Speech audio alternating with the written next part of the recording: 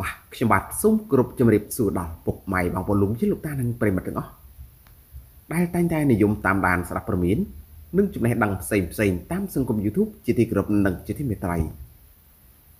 ក្នុងគណៈពេលនេះដែរខ្ញុំបាទមានអត្ថបទព័ត៌មានមួយដែលមានចំណងជើងថាអំពរ TV តារាជើងចាស់ដែលមហាជនលើកសរសើរថា សម្រស់ពិតជាស្អាតខណៈដែលវ័យជាង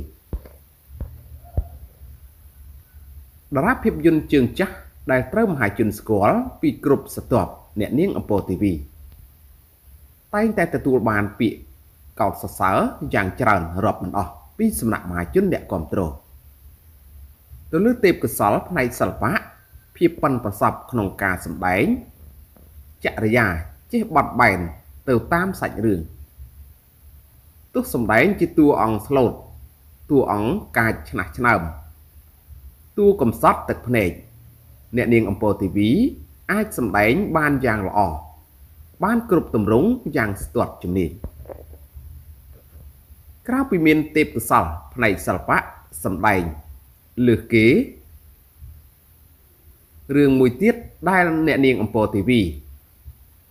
តែងឮចេញពីមាត់ស្រទាប់មហាជនក្មេងចាស់ប្រុសស្រីនោះគឺរូបសម្រស់ដ៏ល្អឯកតាំងពីនៅក្រមុំ រហូតរៀបការមានប្តីមានកូន មកដល់ពេលនេះ អ្នកនាងចំណាស់50ឆ្នាំប្លាយហើយក៏អាចរក្សាផ្ទៃមុខស្រស់ស្អាតសាច់ឈាម ចាំស្អាតមិនប្រែប្រួល ចាស់ជ្រីវជ្រួញខ្លាំងទៅតាមអាយុទាល់តែសោះ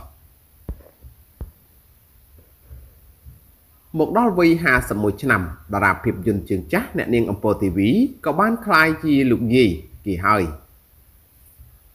នៅតែទទួលបានពាក្យសរសើរពីរូបសម្រស់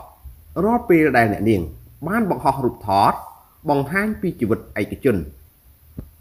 រស់នៅយ៉ាងមានក្តីសុខនៅលើទឹកដីសហរដ្ឋអាមេរិក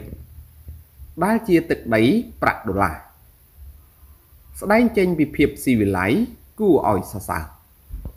បាទហើយអត្ថបទព័ត៌មានដែលខ្ញុំបាទបានជម្រាបជូនខាងលើនេះក៏មានតែប៉ុណ្ណឹងសូមអរគុណសូមជម្រាបលា